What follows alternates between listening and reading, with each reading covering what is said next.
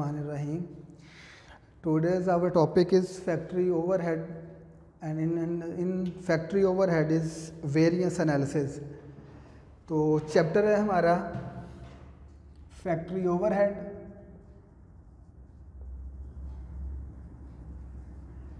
और टॉपिक इसमें हमारा होगा variance analysis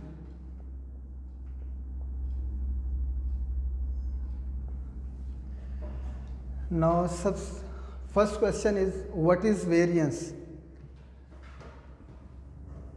What is variance?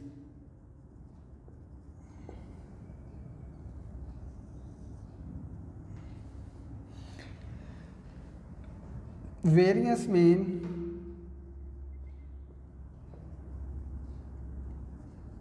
difference between estimated FOH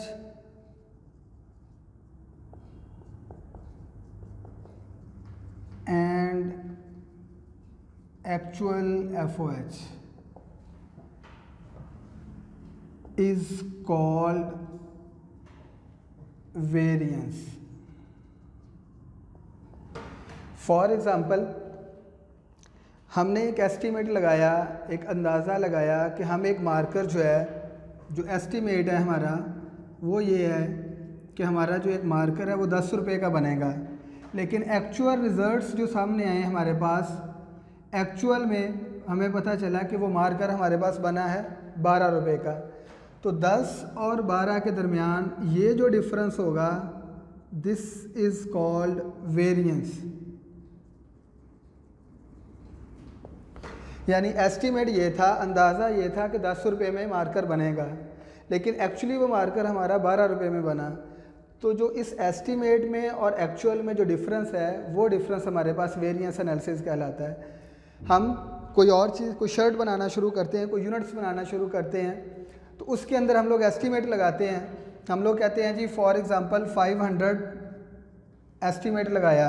एक शर्ट लेने गए मार्केट में हम लोग हमारा जो बजट था, वो हमने कहा जी हमने टी शर्ट एक जो है, वो एक 500 के दरमियान लेनी है या एटलीस्ट 500 की लेनी है।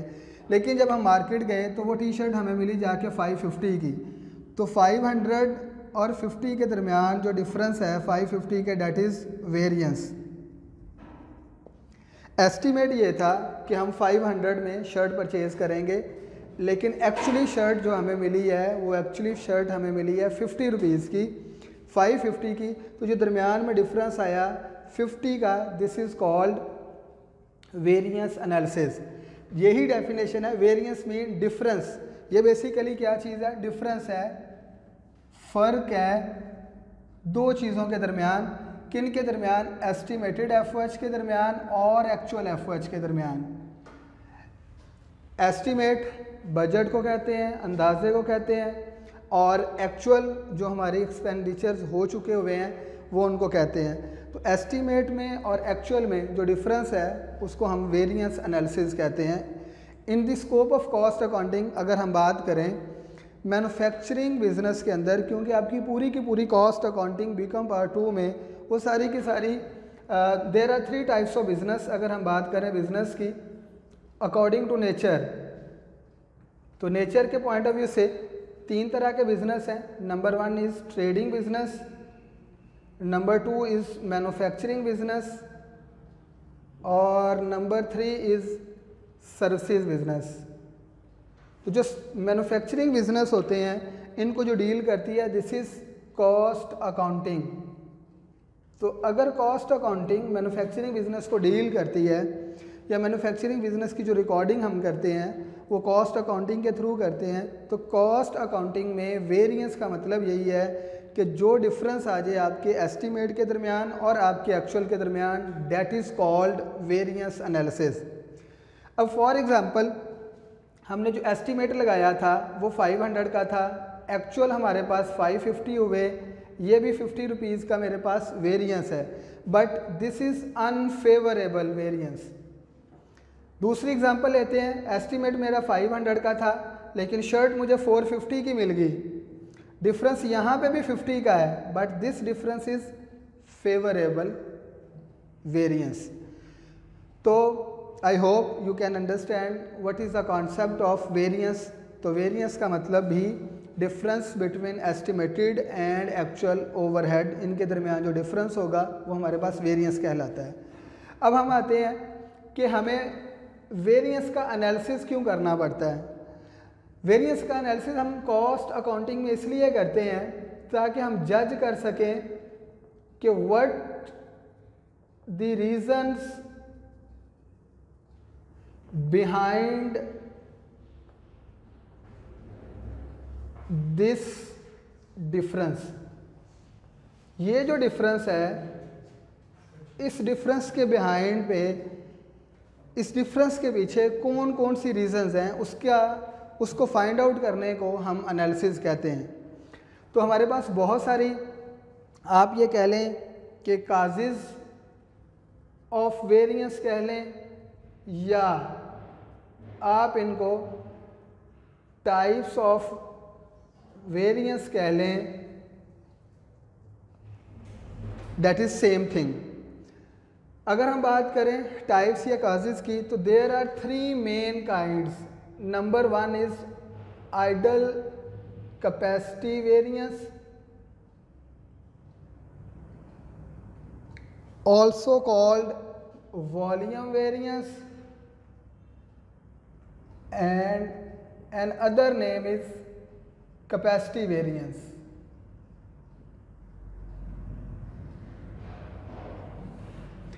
तो what is idle capacity variance ऐसा वेरिएंस जो अराइज होता है ड्यू टू आपकी लेबर की एफिशिएंसी या इनएफिशिएंसी की वजह से, उसको हम कहते हैं आइडल कैपेसिटी वेरिएंस हम लिखेंगे इसको arise due to labour efficiency और नेग्लिजेंस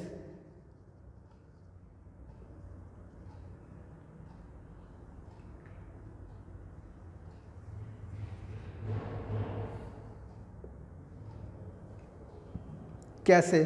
फॉर एग्ज़ाम्पल हमने कहा अपनी लेबर को कि पर यूनिट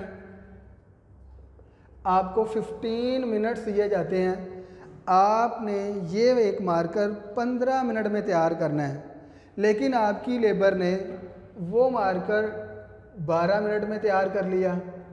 या आपकी लेबर ने वो मार्कर 18 मिनट में तैयार कर लिया। तो लेबर आपकी एफिशिएंट भी हो सकती है और इनएफिशिएंट भी हो सकती है।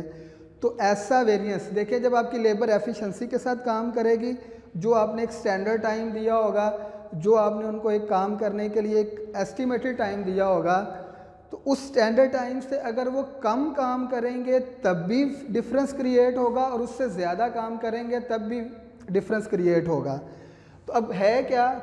अगर तो वो 15 मिनट वाला काम 12 मिनट में करते हैं तो इसका मतलब आपकी लेबर एफिशिएंट है। और अगर वो 15 मिनट वाला काम 18 मिनट में करते हैं तो इसका मतलब आपकी लेबर एफिशिएंट नहीं है।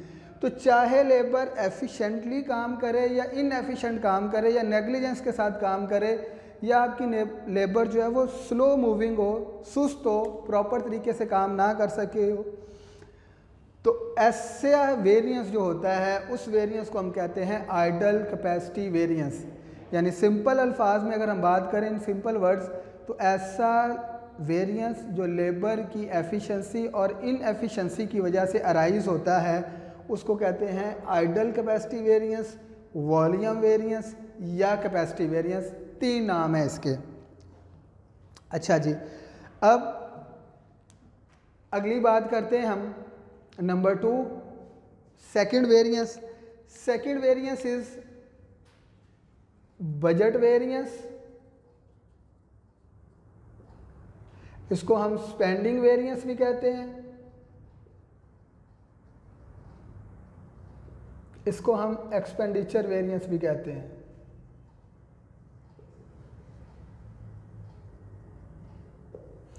तो ऐसा वेरिएंस जो मार्केट में प्राइस की फ्लक्चुएशन की वजह से अराइज हो मार्केट प्राइजेज आपके पास इंक्रीज हों या डिक्रीज हों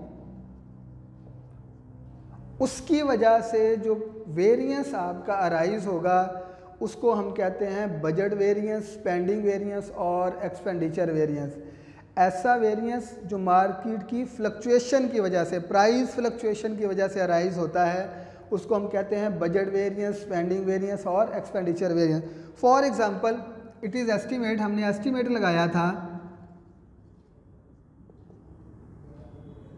कि रुपीज़ टेन पर यूनिट आपका मटेरियल लगेगा। लेकिन मार्केट में प्राइस फ्लक्चुएट होने की वजह से प्राइसेस बढ़ने की वजह से, बहुत सारी रीज़न की वजह से आपका मटेरियल लगा 15 पर यूनिट। तो वो जो वेरिएंस अराइज होगा, उसको हम कहते हैं बजट वेरिएंस स्पेंडिंग वेरिएंस या हम उसको क्या बोलते हैं expenditure variance and the third one is उसको हम कहते हैं टोटल वेरियंस टोटल अंडर और over applied and overall variance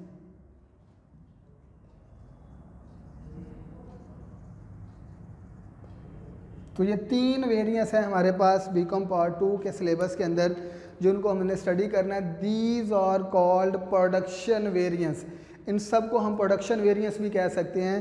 ऐसे वेरिएंस जो प्रोडक्शन में इंक्रीज़ या डिक्रीज़ होने की वजह से जिनका एनालिसिस किया जाए, उनको प्रोडक्शन वेरिएंस भी कहते हैं। तो total variance total under or over applied या ओवरऑल वेरिएंस इन दोनों का जो सम होता है, जो पहला और दूसरा आपका वेरिएंस है वो आपके पास बेसिकली टोटल वेरिएंस होता है। आई होप कि आप सबको ये बात क्लियर होगी होगी। Let me slightly I will revise for you what is variance हमने सबसे पहले डिस्कस किया कि वेरिएंस क्या है। हमने कहा, जी वेरिएंस क्या है? वेरिएंस एक डिफरेंस है एस्टिमेट के दरमियान और एक्चुअल के दरमियान। The difference between estimated F and actual F O H is called factory over overhead हमने एस्टीमेट लगाया था कि एक मार्कर दस रुपये का बनेगा, लेकिन वो मार्कर हमारे पास बारह रुपये का बना। तो दस और बारह के दरमियान जो डिफरेंस है, वो दो रुपये का डिफरेंस है। दिस इज़ कॉल्ड वेरियंस हमने ये एस्टीमेट लगाया कि हम मार्केट में जाएँगे 500 की हमें एक टी शर्ट मिल जाएगी, लेकिन वो टी शर्ट हमें जाके मिली 550 की। एस्टीमेट 500 का था, मिली 550 की। जो डिफरेंस होगा this is called variance again estimate 500 का था। एक्चुअली 550 की मिली। 50 वेरिएंस है बट ये हमारे लिए अनफेवरेबल है। जब हमारा एस्टीमेट कम होता है और उससे ख़र्चा ज़्यादा हो जाए तो वो हमारे लिए अनफेवरेबल सिचुएशन हो जाती है। और ऐसी सिचुएशन जहाँ पे हमारा एस्टीमेट ज़्यादा था और एक्चुअल कम खर्चा हुआ है तो वो हमारे पास फेवरेबल होता है। फिर मैंने आपको कहा जी business according to nature there are three types of business trading manufacturing और सर्विस मैन्युफैक्चरिंग बिज़नेस को डील करती है कॉस्ट अकाउंटिंग तो मैंने आपको कहा कि हमने क्या करना है वेरियंस एनालिसिस करना है कॉस्ट अकाउंटिंग में कि what are the reasons behind these variance ये क्यों वेरियंस कम या ज़्यादा? ये क्यों फेवरेबल या अनफेवरेबल हो रहा है? हम इनकी कॉजेज़ जानना चाह रहे हैं या इनकी टाइप्स जानना चाह रहे हैं या रीजंस जानना चाह रहे हैं। तो there are three types of variance number one is idle capacity variance volume variance and capacity variance ऐसा वेरियंस जो आपकी लेबर की एफिशिएंसी और इन एफिशिएंसी की वजह से अराइज हुआ हो ऐसे को इसको कहते हैं idle capacity variance capacity variance और वॉल्यूम वेरिएंस आपने कहा जी, पंद्रह मिनट में एक मार्कर बनेगा, लेकिन आपकी लेबर ने वो बारह मिनट में बना लिया। जो तीन मिनट का डिफरेंस आया, वो आपके पास वेरिएंस है। या पंद्रह मिनट वाला मार्कर आपने अगर अठारह मिनट में बनाया तो वो भी जो डिफरेंस है this is also called variance फिर हमने कहा जी budget variance budget variance spending variance expenditure variance तो हमने कहा कि ऐसा वेरिएंस जो मार्केट में प्राइस की फ्लक्चुएशन की वजह से अराइज होता है, उसको कहते हैं budget variance volume variance and expenditure variance हमने एस्टिमेट लगाया कि एक यूनिट को बनाने के ऊपर मटेरियल दस रुपये का लगेगा, लेकिन प्राइजेज इंक्रीज होने की वजह से वो पंद्रह रुपये पे चला गया। तो वो जो डिफरेंस होगा that is budget variance spending variance and expenditure variance यानी मार्केट में प्राइस फ्लक्चुएशन की वजह से। और इन दो फ़र्स्ट वेरियंस का अगर हम सम कर लिया जाए टोटल कर लिया जाए तो हमारे पास बनता है टोटल वेरियंस टोटल अंडर और over over applied and overall variance ठीक है जी? आज का हमारा लेक्चर यहाँ पे वाइंड अप होता है। नेक्स्ट लेक्चर में हम इससे आगे फर्दर वेरियंस एनालिसिस को डिस्कस करेंगे। Thank you very much